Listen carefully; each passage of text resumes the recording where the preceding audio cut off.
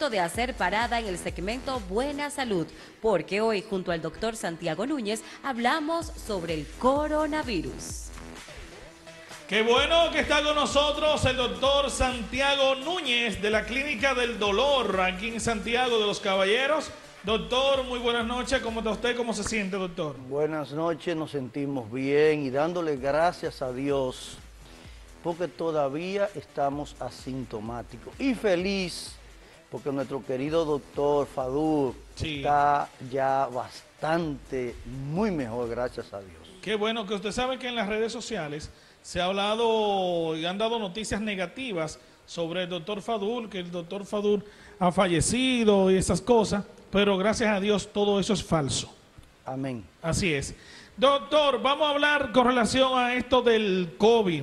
Primeramente, voy a hacerle una pregunta fácil, fácil pero muy importante. ¿Sí? ¿Por qué la mascarilla? ¿Por qué es tan importante utilizar la mascarilla? Bien, excelente pregunta. Lo primero, señores, es que si los médicos que investigamos, que pertenecemos, gracias a Dios, a sociedades internacionales de investigación, todavía tenemos incógnita. Incógnita es algo que no ha sido demostrado científicamente sobre el SARS-N2.0 que se le llama a la patología COVID-19. Ese es el nombre de la enfermedad. Este es un virus que según el ADN, es decir, la conformación del virus, pertenece a la familia de los coronavirus, eso es conocido. Pero quisiera, señores, porque como este es un programa que se ve en todo el mundo. Internacional. Entonces uno tiene que ser muy preciso y conciso con lo que dice. Sí. Y usted, yo le invito a que escuche entre líneas para, yo, para nosotros, perdón, no comprometernos en cosas que pudiera, que pudiera, disculpe, que pudiera, no, nos pudiera traer algún, qué sé yo, el coronavirus se ha dicho que es un virus modificado, se ha dicho eh, que fue creado en un lugar determinado, ya sí sabemos que hay seis genomas diferentes de coronavirus. ¿Cómo así, doctor? Seis. Seis, vamos a decir, rompecabezas, que uno forma un, un conejito, otro una gallinita, otro, que tienen diferentes partes vamos a decir que cada uno de esos sería un virus. Entonces tienen diferentes partes y por supuesto diferentes formas, diferentes comportamientos. Y hay cosas que quisiera enfatizar. Entonces, ya sabemos que no es nada de la naturaleza. Recuerden y brevemente que los países occidentales la querida República Democrática de China, que Rusia, que Corea del Norte, son países que tienen una pugna fuerte, acuérdense Huawei, eh, la, moneda, que el dólar no está reparado por, oro. Eh, usted si quiere puede investigar eso. Entonces, algo hay detrás. Porque nosotros ahora vamos a hablar cómo usted y cómo quien les habla se está cuidando y por qué es tan necesario cuidarse. Entonces, ¿por qué la mascarilla? ¿Por qué, doctor? Los coronavirus tienen la característica que tienen una lipoproteína que lo cubre, tienen un peso molecular, es decir, por suerte bastante pesado, de 180 a 200 Armstrong, que son medidas nanométricas, por lo que la Organización Mundial de la Salud, aunque tendrá que responder bastante la Organización Mundial de la Salud después que salgamos de esta situación, porque ha metido la pata un montón de veces, en todos los aspectos. Entonces, sí se recomienda el distanciamiento, sí se recomienda que la persona se proteja. ¿Por qué protegerse?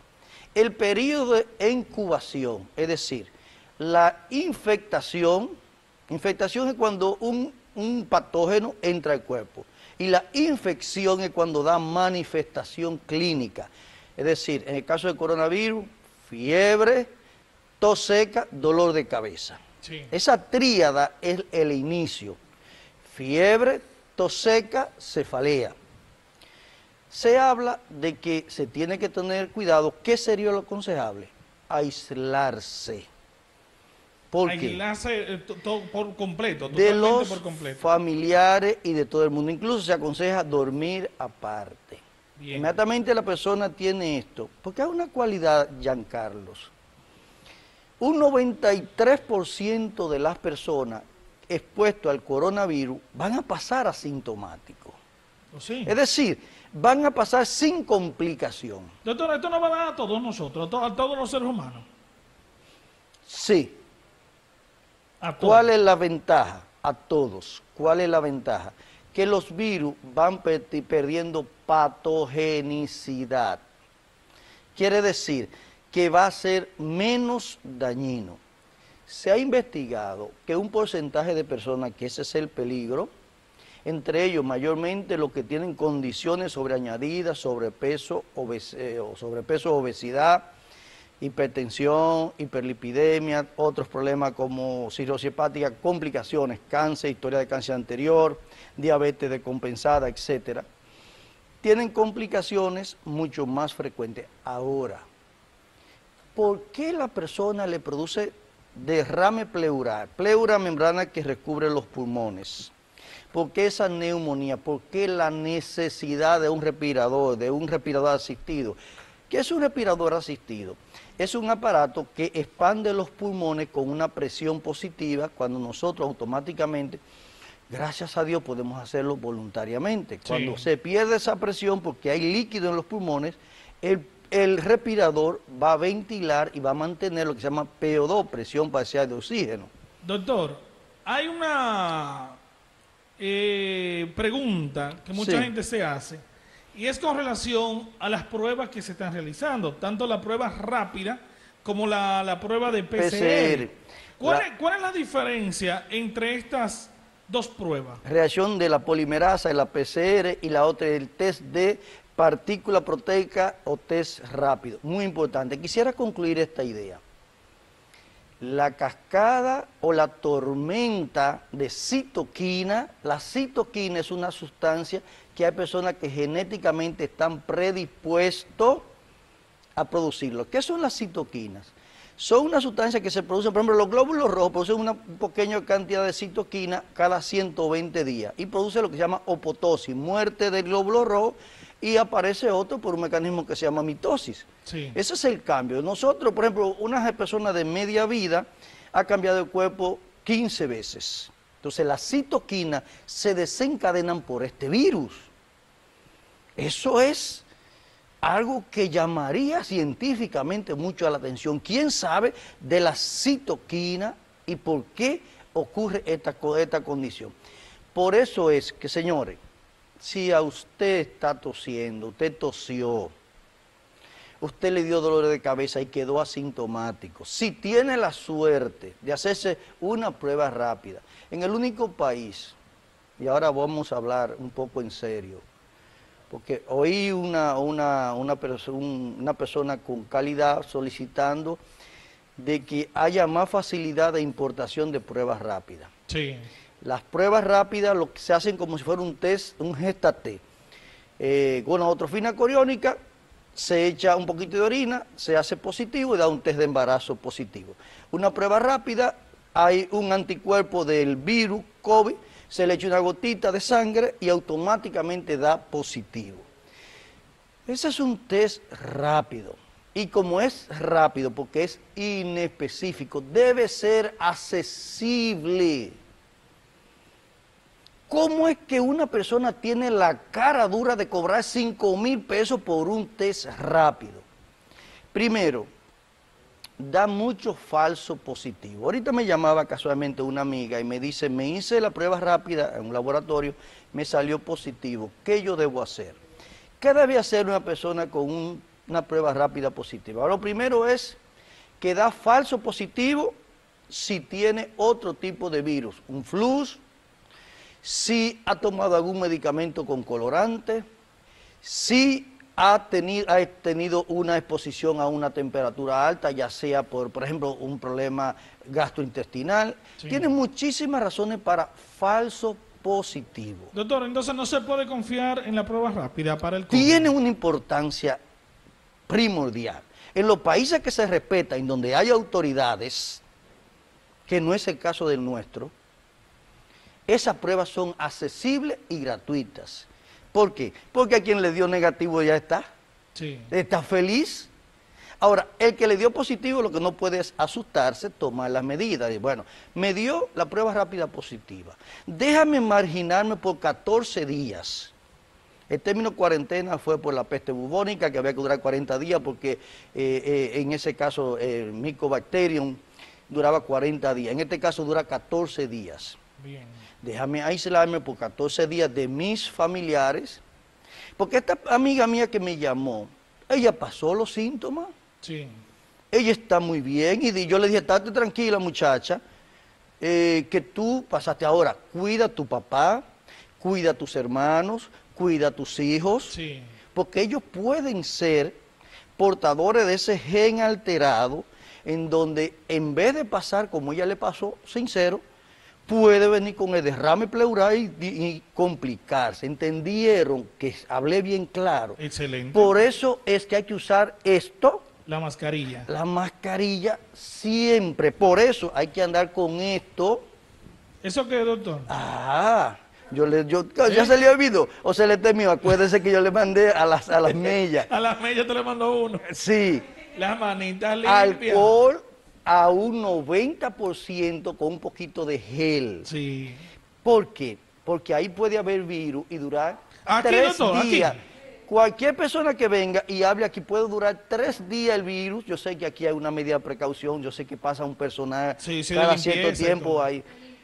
Pero, exacto, pero Sí. puede durar tres días el virus vivo ahí. Y si yo vine ahí y me pasé la mano por los ojos, Ya. me lo pasé por la nariz, o saludé a una persona, o estornudé siendo portador sano, Ya.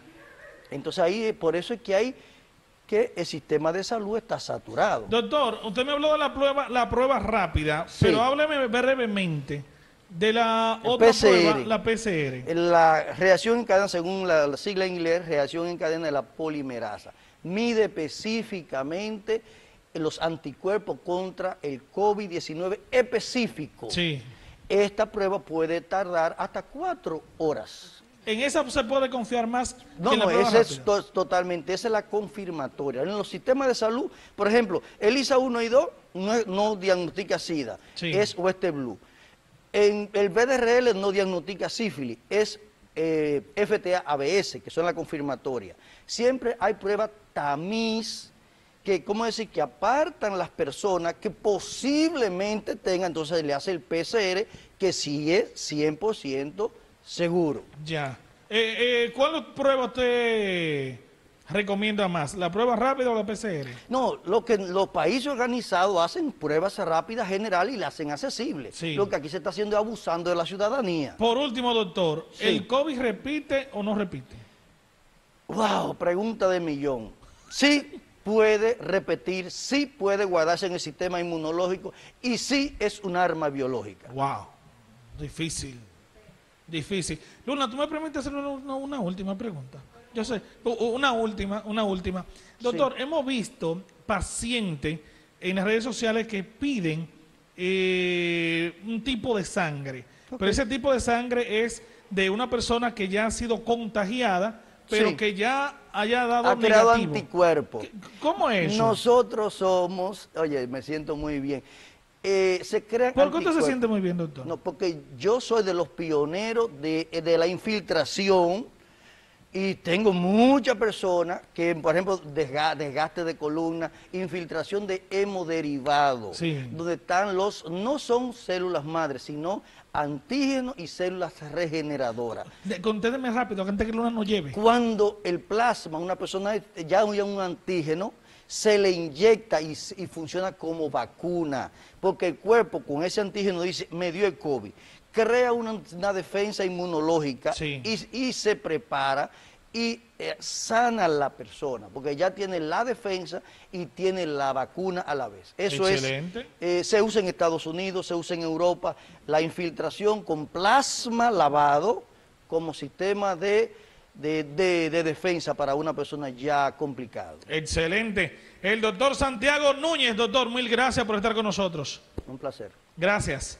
Somos el toque de queda de las noches. Buenas noches.